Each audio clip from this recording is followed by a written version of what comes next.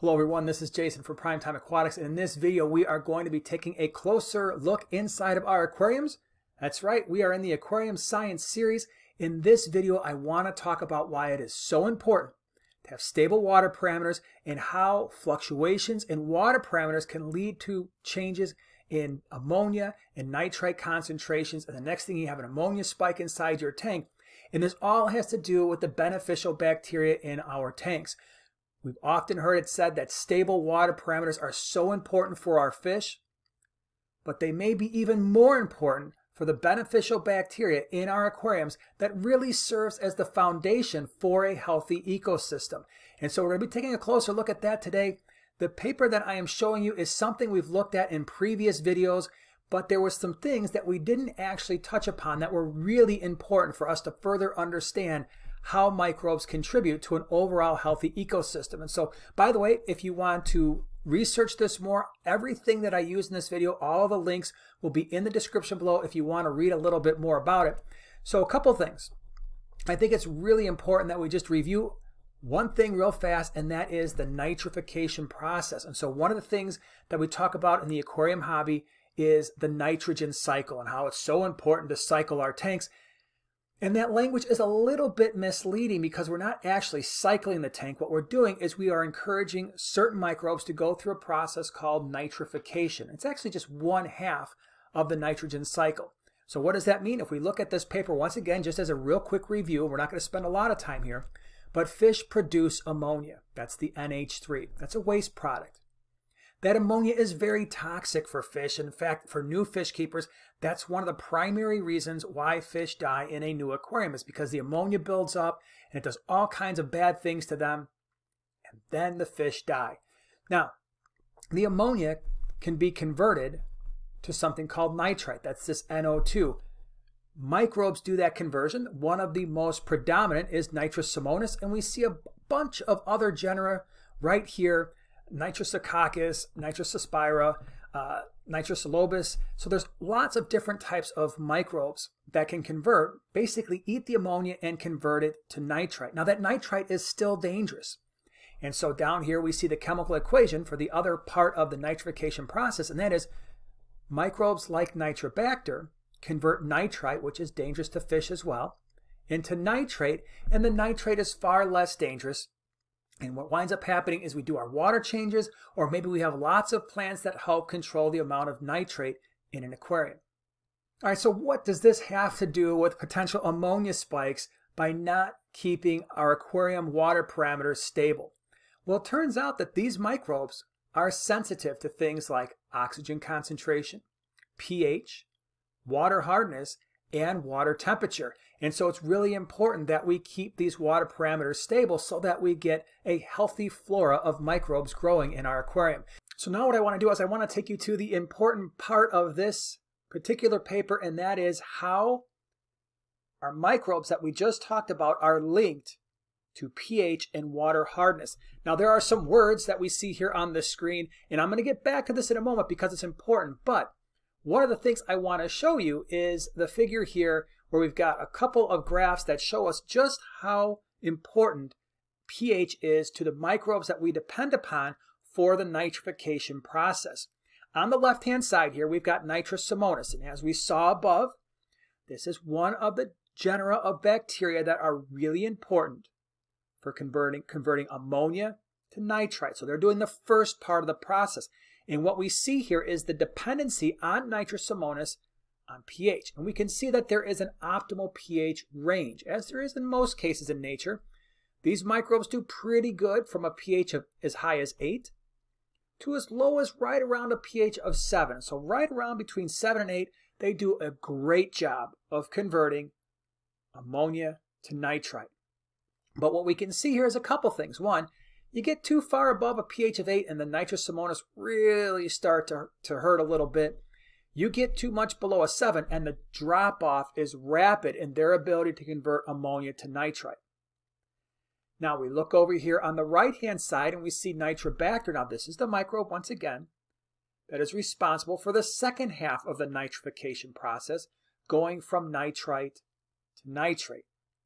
So Nitrobacter is another genus of bacteria. Actually, there's lots of different type of Nitrobacter species.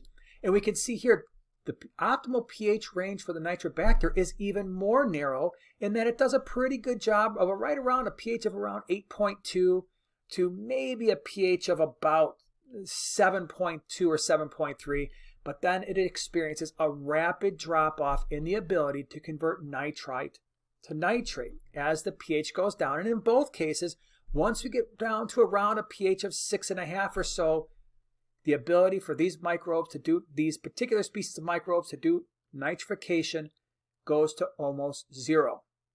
All right, so what does that mean for us? It means a couple things. It means when we are keeping fish and we talk about having stable water parameters for our fish, we also need that for the microbes. Now, I want to be really clear. We already talked about above that these are not the only microbes responsible for the nitrification process. And in fact, these particular genera are not the only microbes responsible for the process. I want to kind of kind of take a side uh, road here real fast and share with you a couple other things that I found that were pretty interesting. Again, these articles will be listed in the description below. But this was, again, actually from the Applied and Environmental Microbiology uh, part of the American Society of Microbiology. And what I wanted to show you here is that nitrification of biofilm at low pH values, and they talked about, I'm not going to go through this entire article, but there were lots of microbes that they identified that could do the nitrification process at very low pHs, as low as a pH of 2 in some situations. So I don't want to imply that the microbes that we are presenting in this particular video are the only microbes that do nitrification, and if your pH drops below 6.5, your tank is going to crash. That isn't necessarily the case. We're going to talk about why it can be severely strained and why you may have, may have some problems, but they are not the only microbes responsible for the nitrification process. In fact, as we scroll down here, I want to scroll down to the bottom a little bit. You're going to see, look at this chart. Now, we're not going to go through this whole thing, but you see all of these different types of microbes that they identified that were going through ammonia to nitrite. Right, so they were using the ammonia converting to nitrite, and then down here we've got other microbes that were doing nitrite to nitrate. So I share this with you only to say that these are not the only microbes. And one other thing I want to share before we get back to our original article there are other types of bacteria that may, in a freshwater system, may be even more important than the traditional Nitrosomonas and Nitrobacter. Thaumarchaeota, this is an archaetype of bacteria, so the archaea live in pretty extreme environments, generally speaking. But these microbes, too, are known to be important in a freshwater aquarium for the nitrification process. Okay, so now that we have that, we know that these are not the only bacteria responsible for nitrification, that there are others. Here's why this matters.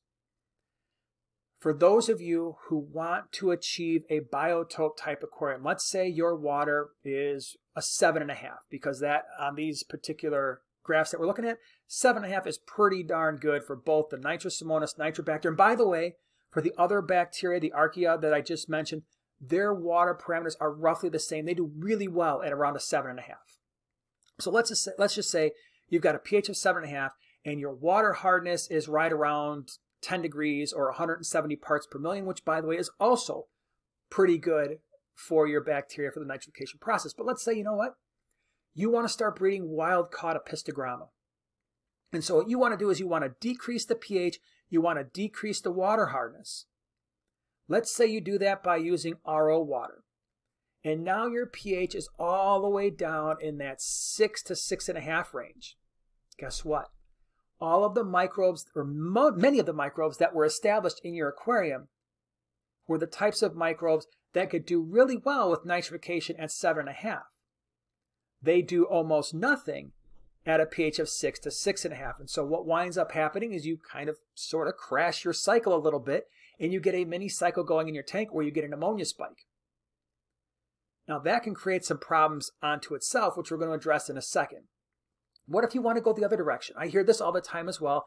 You know, my pH is pretty close to a 7.0 or maybe it's a 6.5, and I really love African cichlids. And so what I would like to do is increase my pH. How do I do that? I say, okay, well, add aragonite, you can add crushed coral, you can add uh, cichlid uh, buffers that are sold on the market.